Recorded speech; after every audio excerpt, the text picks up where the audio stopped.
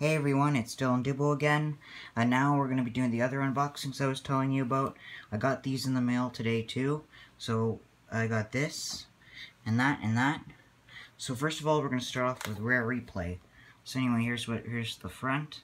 It says 30 hit games, one epic collection, only on Xbox One. Here's the front. You got all the rare characters. This is rated E to M. Here's the front. Here's the spine and the back. And here's all the information. Inspiring worlds, beloved characters, unforgettable fun. Rediscover 30 hit games with Rare Replay. And here's all the information with screenshots. And it says rated, there's all the rating specs and all that stuff. So you could read that if you want.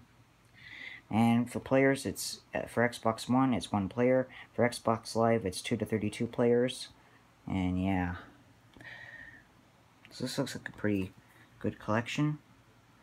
So without further ado, let's get this unboxed. Got my trusty unboxing knife.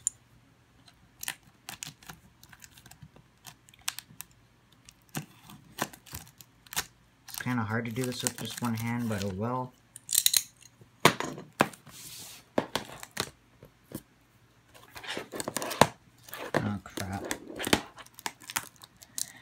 I'm still hoping to get a tripod sometime, but it's going to take a while.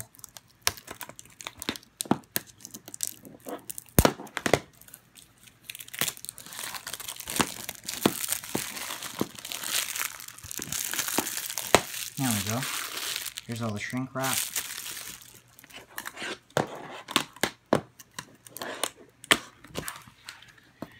Now here's the inside. There's no manual, but information about uh, the game and stuff. And here's the disc of Rare Replay. Nice artwork on it.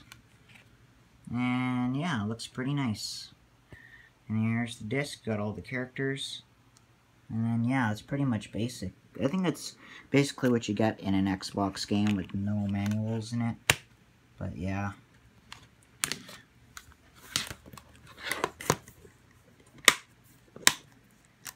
So yeah, that's my quick unboxing of Rare Replay.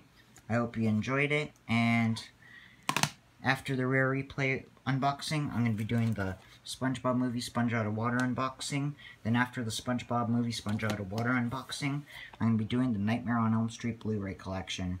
So yeah, stay tuned for those videos, and peace out, fans.